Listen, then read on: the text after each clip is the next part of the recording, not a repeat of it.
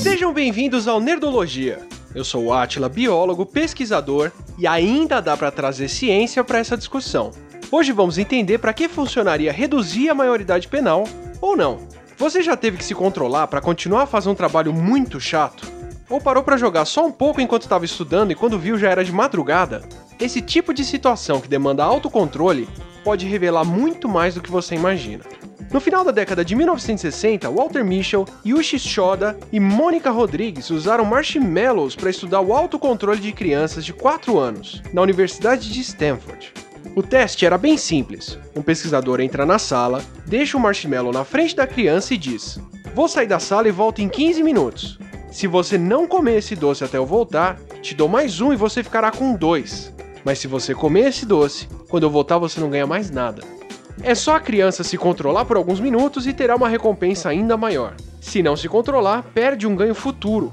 Elas olhavam para o doce, cheiravam, lambiam, mexiam, se distraíam e faziam o que podiam para não comer. Muitas não resistiram e comeram o marshmallow, em média 3 minutos depois de serem deixadas sozinhas. Só uma em cada três crianças aguentava até o final.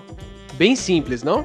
O grande achado de Michel foi voltar a estudar o que aconteceu com aquelas crianças mais de 10 anos depois. Os adolescentes que foram crianças que tinham autocontrole e conseguiram esperar para ganhar o segundo marshmallow se desenvolveram com maior desempenho escolar, com menos problemas cognitivos, sociais e até menos estresse. A habilidade de se controlar e adiar recompensa por algo melhor se estendia para as outras tarefas e situações na vida delas. Conseguiam ficar em casa estudando quando precisavam, por exemplo. Acompanhando esse grupo até a idade adulta, mais de 40 anos depois dos primeiros testes. Aqueles que foram mais impulsivos e comeram doce mais cedo foram os que tiveram maiores problemas profissionais, menor formação e até maior uso de drogas. Repetições do experimento do marshmallow ainda demonstraram que as crianças aceitavam esperar muito mais quando tinham certeza de que seriam recompensadas do que em situações incertas. Como Dan Gilbert comenta no já citado e ótimo O que nos faz felizes, vivemos uma disputa com nossos impulsos entre o que queremos no presente e o que queremos no nosso futuro. Quando você escolhe não gastar o seu dinheiro com algo supérfluo agora, está guardando dinheiro para o seu eu futuro. Quando você não faz um trabalho que precisa fazer, você está sacaneando o seu eu futuro. Passamos nossa infância na escola não porque ela é legal, mas sim porque quando adultos vamos precisar do conhecimento que ganhamos lá. E se o futuro é incerto, damos menos peso ainda para o valor de esperar agora. Esse é um dos propósitos da pena criminal: dar uma punição para que você não ceda ao impulso agora, pensando no que o seu eu futuro vai sofrer por anos se você for parar na cadeia. Quando discutimos se menores de 18 anos deveriam seguir penas, essa é uma das justificativas que se dá para diminuir a maioridade penal. Se os adolescentes souberem que serão punidos, não vão cometer os crimes que pensavam em cometer. Afinal, se já são maduros o suficiente para cometer o crime, são maduros o suficiente para sofrer as consequências.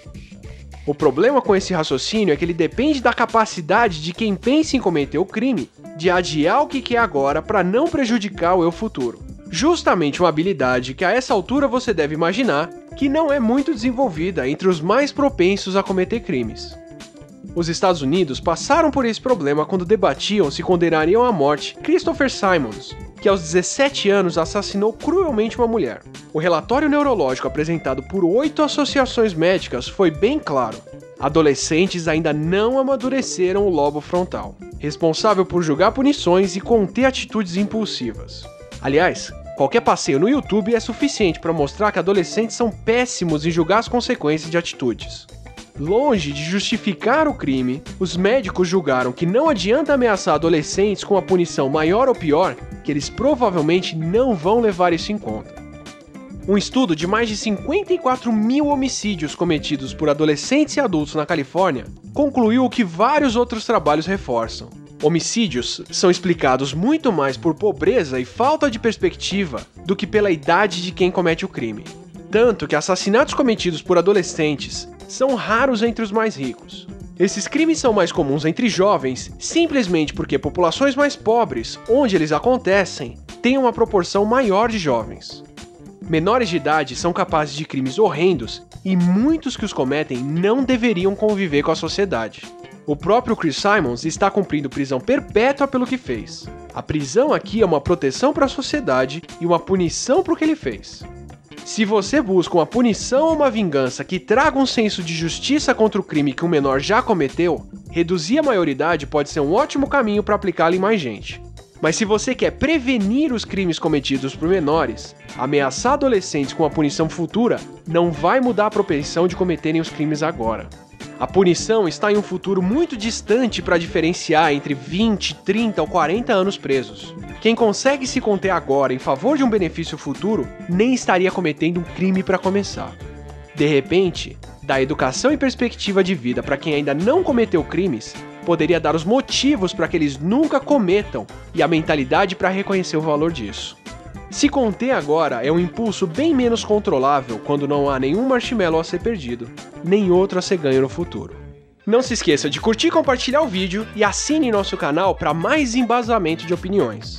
Novamente, agradecimentos ao autor de obras de divulgação científica Livro dos Milagres e Pura Picaretagem Carlos Orsi e ao professor e autor do blog Cognando André Souza. Esse Nerdologia foi um oferecimento da Nerd Store, cheia de produtos DC Comics, rapaz! Adesivo de parede do Superman, Batman, Mulher Maravilha, o banco mesa DC Comics, bandeja, caixote de feira, caixote de mesa, mesa rocket, porta-treco, skins para iPhones, rapaz! É muita coisa para você, DC Nauta. Vai lá na nerdstore.com.br. Por favor, críticas, comentários, sugestões e temas aqui embaixo e nos nossos perfis no Twitter e no Facebook.